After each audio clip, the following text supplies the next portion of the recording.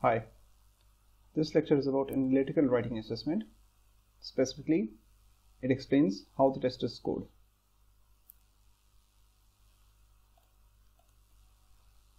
So, on the analytical writing assessment, all test takers are required to write two essays.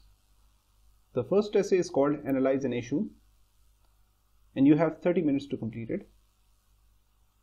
You're provided an issue of general interest such as democracy, censorship, or human rights. You have to take a position in favor of the issue or against it. You have to construct an argument for why you have taken that position and you have to provide supporting evidence. The second task is called Analyze an Argument. You have 30 minutes to complete it. You're provided with an argument and you have to evaluate that arguments, claims, and evidences. How this section is scored? So, your essays are scored on a range of 0 to 6. So, a 6 score means that your essays are outstanding, means your essays were persuasive, well articulated, and in general of superior quality. A 5 score means that your essays were strong, meaning that the content was generally thoughtful and it conveyed the meaning clearly. A score of 4 is adequate, meaning there was clarity of position that you took and you had a good control of language.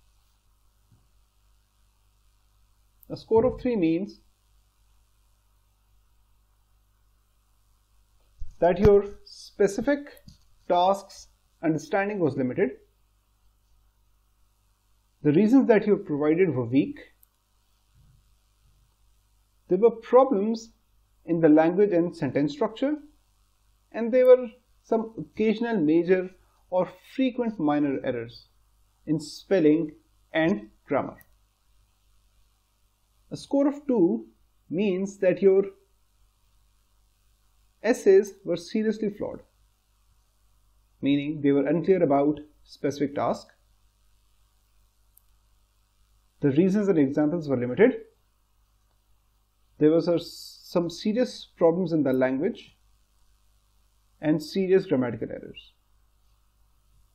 A score of 1 means your essay is extremely deficient, meaning there was almost no evidence of understanding the issue.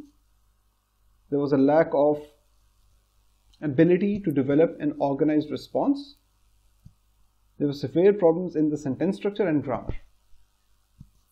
Finally, a score of 0 means that your response to the essay was off topic. So your score will vary between 0 and 6 with an increment value of 0.5 which means that your score might be 1.5, 2, 2.5, 3, 3.5. So this is how your score may look like with an increment value of 0.5. So while writing this essays, try to understand the issue or the argument very carefully. Make sure that in the argument you don't take a specific position, rather you evaluate the consistency of the argument.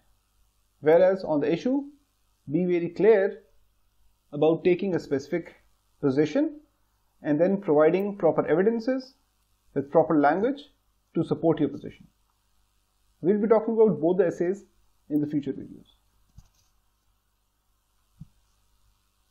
How your scores are reported.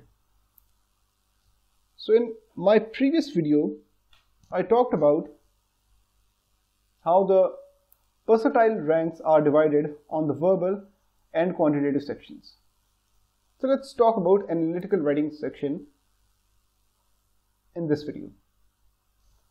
So This is how your percentile ranks are distributed. If you remember, I explained the meaning of percentile ranking. Whatever number you have here, this means that this many people score below this scaled score. So if you get a score of 5.5, which is very good, that means that 95% of the people have scores below 5.5. In other words, your score is in the top 2% of the test takers. If you've scored a 4.5, which means you got a percentile rank of 80, so that would mean that 80% of the people score below the scaled score of 4.5 or in other words, your score is in the top 20%. This means that your score is in the top 20% of the test takers. So this is how your scores are reported. Thank you for watching. Stay tuned for future videos.